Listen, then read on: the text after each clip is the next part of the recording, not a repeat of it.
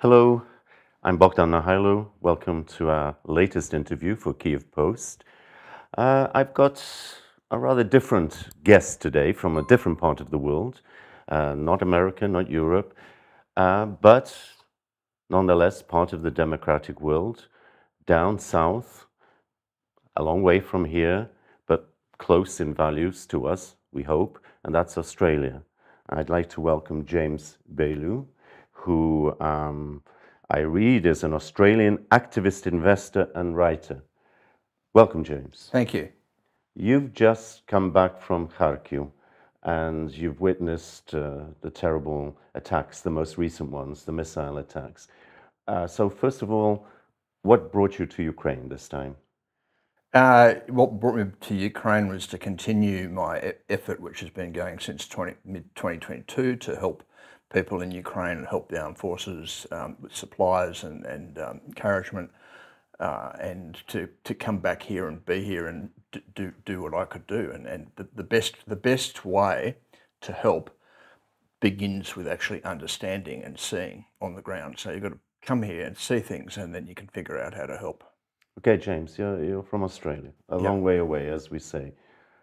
Obviously, through the media, you you were following what was happening here and how the war started the, the, the uh, major attack in 22.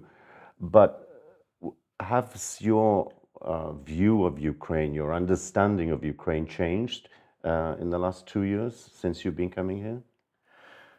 Uh, fundamentally, no. It's been very consistent around um, fighting, fighting for freedom and fighting for the for the land and fighting for the history and fighting for the country. And I think that that that that fundamental truth has been consistent the whole the whole way through. Uh, it hasn't changed, and I think um, I think people have got tireder.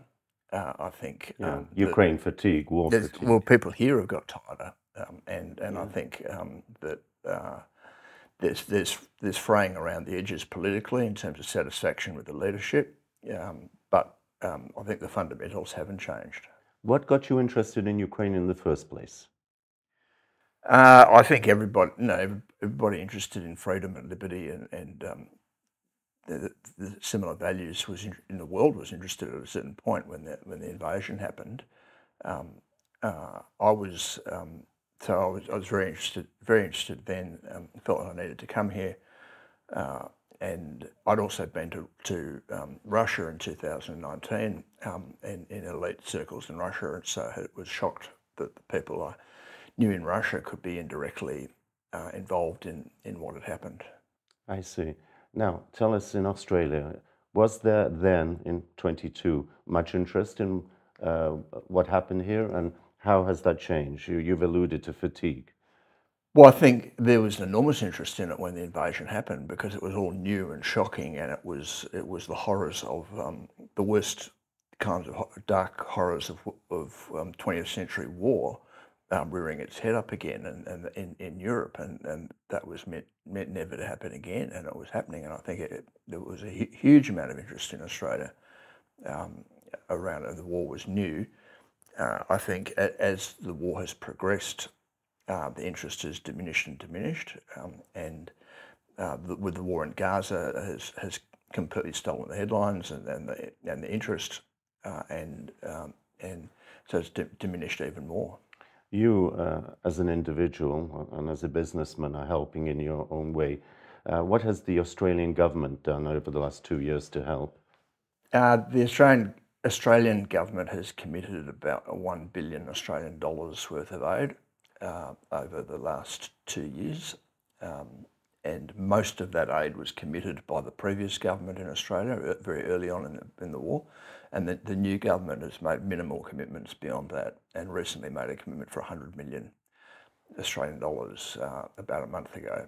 Is that on paper or is, that, is it actually reaching No, it, um, Richard Marles, the Defence Minister, came to Lviv and had a meeting and, and a ceremony and he made that commitment um, pretty pretty formally. Exact detail that's been spelled out in I'm not clear. We reported on uh, uh, the issue of the uh, helicopters that had sort of expired, should we yes. say, uh, in terms of the, the uh, duty uh, and worthiness. Uh, what's happened to that? that? Is that no longer an issue? I think that he helicopters have been dismantled and, and being buried. There's, there's no coming back. The story is buried. Okay. The, well, the story's not buried because I think it's a it's a scandal. They could have um, they could have given them to the to Ukraine and said, look, it's your problem how to fix them, yeah. and if you want to use them, it's your at your risk. Right. And obviously, flying a helicopter in war is very risky to begin with. So yeah. um, you don't you don't need to. It's not like commercial airline um, a commercial airline flight. They could have, if Ukraine wanted them, they could have given them. I think I'm not an expert on the issue uh, of the helicopters, but my, my understanding is that the request the helicopters came after they were already starting to be dismantled. Um, right, too late in the day. But but they, they should have been proactive. They should have said, here, here, here you go, rather than throw them away. You can. I know some members of the Ukrainian diaspora were uh, pressing on this issue, but uh, obviously their voice wasn't strong enough. Wasn't strong enough, no. Okay. Um, and um, quite recently, in relative terms, Australia opened an, an embassy here. No, no, what's happened to it? No, the Australia, Australia, like a lot of countries, shut its embassy at the beginning of the war um, when Kiev was under threat. And um, but unlike about sixty other nations, Australia has has not reopened its embassy. So Australia is a real outlier um, in the Western Western world at the moment in not having an embassy open. There is an ambassador um, to Ukraine, and the ambassador sits in Warsaw and the, the, the claimed um, reason is that Kiev is too high a security risk. Well, okay. Well, we're here. Uh, as you see, life goes on despite uh, the threats. Impressions from Kharkiv in the last days, uh terrible sights as we've seen on TV from even Kiev. But you've seen well, it's just damage yourself. Yeah, look, it's a really big shock because you're still in the same country, and you uh, um, and you come from um, Kiev or you come from Lviv, uh, the, the, two other two big cities, and, and you you go on a, a, a five-hour train ride, and in Kharkiv, and the, the, the whole demeanour of people is different. Um, it's you know it's it's serious and worried. Um, the the, um, the lights, or there's no lights in the evening, um, so it's like a Gotham City at night. Um, you know, there's traffic lights, but that's about it. All the building. What, what, did you sense about the spirit of the population? Discouraged, uh, demoralized? No, I still, think still I, strong. I think strong and extraordinarily resilient, and that um, uh, I was at the, the scene for the the hypermarket attack um, about an hour or two after the attack. So when the fire was still burning and the smoke was going up, and and the the, the the, it was the, the, complete scene of wreckage.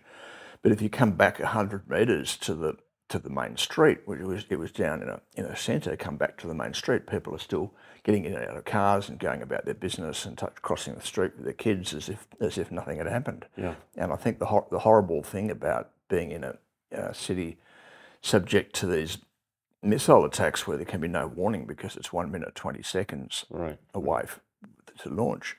Um, is that people are so used to the carnage, they just get on with their life. Well, I wasn't hit, so. What, what, should Australians and, for, for that matter, North Americans know about uh, the situation in Ukraine as you've just witnessed it? Well, I think the, the, the biggest thing I would say to people who take an interest in Ukraine uh, is come here, um, and it's safe to come here um, it, it, for, for nearly all of the country except near the front uh, it, it's safe to come here. It, it's as safe as anywhere. Yeah, and if you if you're interested in Ukraine, you don't need to read about it in the in the in the internet on the internet or have me tell you about it. You you can you can come here and see it for yourself and and spend some time here and meet meet some Ukrainian contacts and find a way to help and find a way to get involved and do things. And um, do you think an Aust- your average Australian should care about what's happening in Ukraine? Well, I think the average Australian should care, but whether they do care is two different things. But they should care because I think Ukraine is um, it's a far from perfect democracy, but it is fighting for liberty and freedom and its dignity of the human spirit. And I think um, against a, an evil, evil totalitarian regime. And I think Australians should care about that kind of fight because um, Australia could find itself in that kind of fight in the future. Right. And if Australia hasn't been a good ally, hasn't who's going to help Australia? any, uh, we have to uh, wind up now, but any final thoughts, any messages you'd like to convey to, to our viewers? Look, I think um, I, I, go more than it come here, I'd say it's inspiring to be here. Uh, the resilience of people, the courage of people, the, the service of people, the, the, the commitment to a common cause. It's it's it's um it's it's possibly the most inspiring place in the world right now. So it's a good place to visit. Thank you very much, James Baillieu, uh, our Australian guest. Uh, thank you for uh, reminding us of Australia's existence and its contribution and support for Ukraine. And we thank you personally and those like you who support Ukraine at this difficult time for all of us. Thank you. All the best. Thank you very much. Bogdan Nahaylo signing off for Kyiv Post.